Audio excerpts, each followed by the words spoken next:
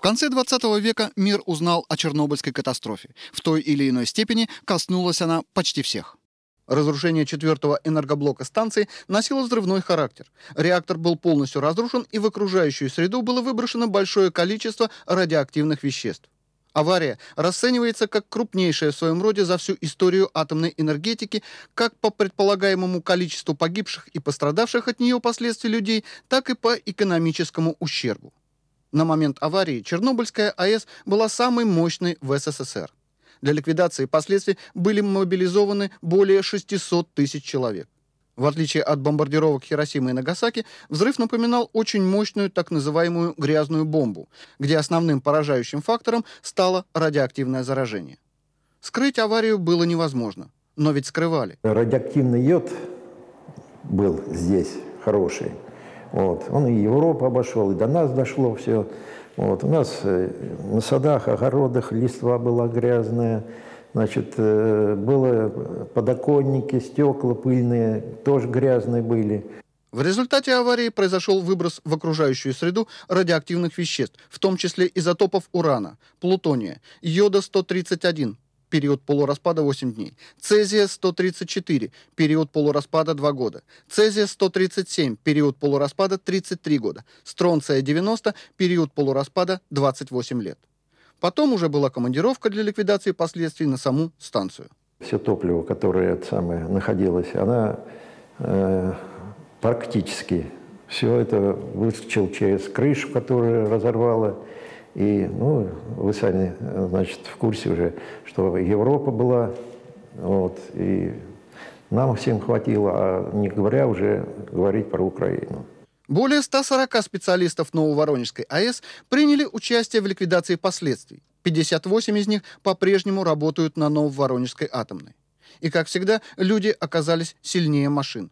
Хоть и принято у нас больше беречь механизмы. Э, там же не только вот как мы приехали, мы специалисты такие, там были, э, взять, например, ту же столовую повара, вот, они там э, работали до упадок сил. Их награждают орденами и медалями, говорят хорошие и добрые слова. Спасибо им. Они помогали спасать мир от крупнейшей техногенной катастрофы 20 века. Я попал туда в 19 лет так как мы были срочники, мы обеспечивали связь, в том числе и правительственную. Запомнился чисто мертвый город, где были повешены бельем, никого народу не было. Все делали, буквально все. И дороги строили, крыши подметали, мусор убирали, все. Ну, что скажут, то и делали. Военные солдаты призывали их, призывали. И вот с ними занимались дезактивацией помещений. То есть первый, третий блок – и э, в одно же и то же время э, в, значит, строился саркофаг. В основном ликвидаторы находились на своих рабочих местах от двух до трех месяцев, в зависимости от набранной дозы. Пока вроде ничего. Ну, повлияло, конечно, но пока живы, а там видно будет, кто ее знает. Отразилось. Стал инвалидом второй группы ишемическая болезнь сердца, мерцательная аритмия, сердечно-сосудистые заболевания.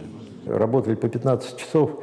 За 15 часов 60 человек пропустишь, вот, все отмоешь, на следующие сутки проходишь, э, приходишь также утром, все по новой, все, грязь была серьезная. Ну, все огорожено, огорожено, короче, колючей проволокой, менты ездят, значит, все на БТРе охраняют под напряжением, туда так не зайдешь. Ну, тут заходишь, только кошки, собаки, дико, понимаете? Ну, аж мурашки по телу белые, там ужас, что творится. 30 сентября 1964 года состоялся пуск Нововоронежской атомной станции. АЭС является первенцем освоения энергоблоков с реакторами ВВР – водно-водяных энергетических реакторов. Это ядерный энергетический реактор корпусного типа, в котором замедлителем нейтронов и теплоносителем служит вода под давлением. Свое дальнейшее развитие Нововоронежская атомная электростанция связывает со строительством двух новых энергоблоков. Они будут представлять собой современные энергетические объекты, отвечающие международным требованиям по безопасности. А в самом Воронеже действует информационный атомный центр. Занимается он просветительской деятельностью среди детей и взрослых. Сюда абсолютно бесплатно может прийти любой желающий. Расскажут, покажут фильмы, организуют экскурсии на станцию. Основная мысль – атомной энергетики бояться не надо, а надо понимать и относиться с уважением. Просто бывает самое разное, начиная от того, как работает наш центр, какие мероприятия мы проводим, заканчивая какими-то особенностями в строениях атомного реактора, потому что ну, люди чаще всего до прихода в наш центр не задумываются и не обращают внимания на то, что это такое, а как это работает станция Нововоронежская, ближайшая к нам, а какие вообще еще станции в стране бывают, а по какому типу они работают, а какие типы реакторов бывают и так далее. И на какие-то вопросы мы, конечно, можем дать ответы, а те вопросы, которые требуют профессионального ответа, мы всегда можем подсказать, кому можно обратиться, дать специальные книги, дать специальные видеозаписи, лекции, ну, для тех, кто действительно этим интересуется серьезно. К безопасности на атомных станциях теперь относятся очень серьезно. Но какая бы ни была система, даже если полностью исключить пресловутый человеческий фактор, риск все равно остается. Пример – несчастная Фукусима. После Чернобыля дважды отлежал в больнице с язвой желудка. Вот бесследно все-таки ничего, наверное, не бывает. Вот. Поэтому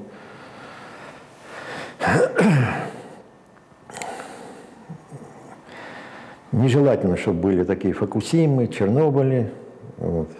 чтобы люди все были здоровы и наслаждались жизнью. Три, два, один.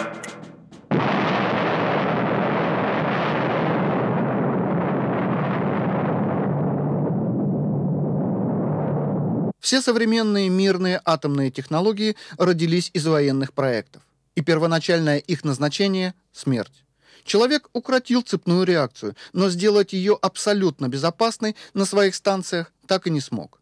Но прогресс – это всегда риск, и вряд ли человечество откажется от него даже ценой потерь.